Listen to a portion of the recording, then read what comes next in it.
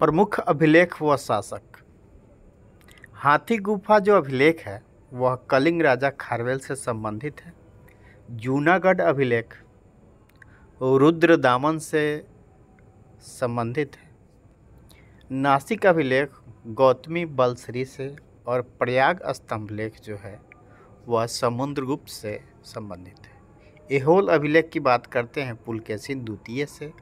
मंदसौर अभिलेख जो है मालवा नरेश यशोवर्धन से और ग्वालियर अभिलेख जो है वह प्रतिहार नरेश भोज से।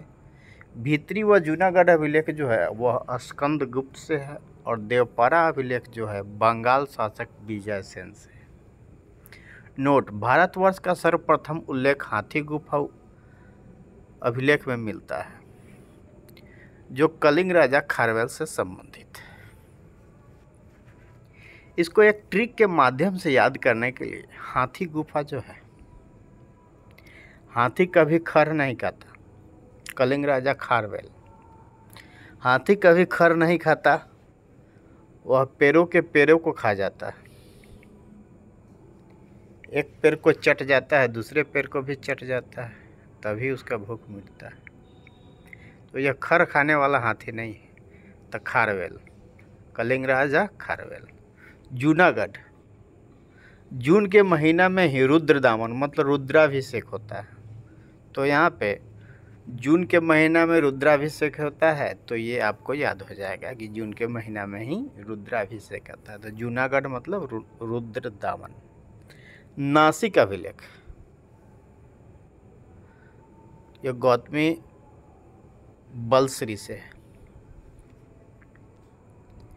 जिसके पास बल है, वह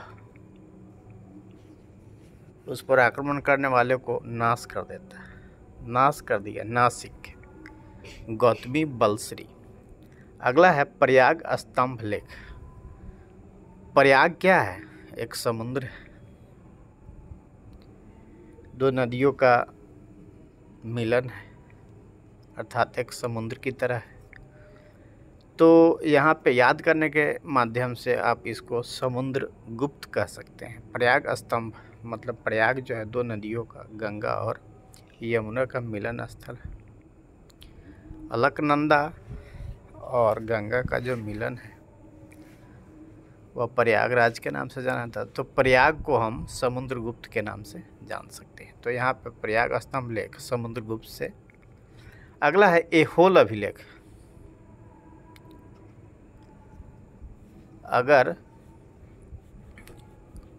होल करना है तो और ये होल कर दीजिए और उसमें एक बीज डाल दीजिए, अंकुरित बीज फर्मेंटेशन हो जाएगा।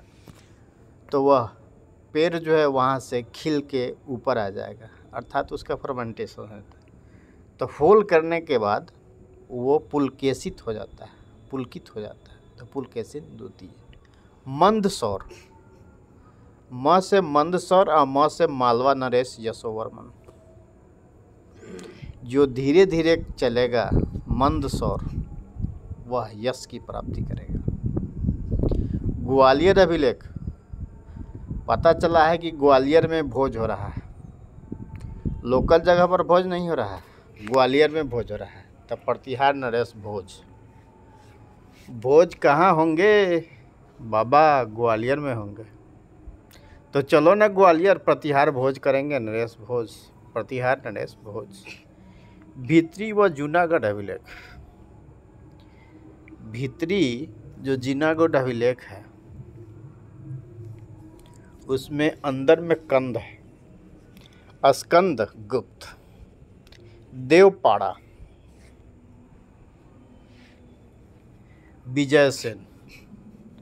इतना वह भव्य विशाल है कि वह विजय की प्राप्ति करता है। देव पाराभिलेख जो है, वह विजय सेन से संबंधित है। तो इस तरह से आपको ये सब याद हो गए होंगे और भारतवर्ष का सर्वप्रथम अभिलेख हाथी गुफा है। तो ये भी आपको याद हो गए तो जय हिंद, जय भारत।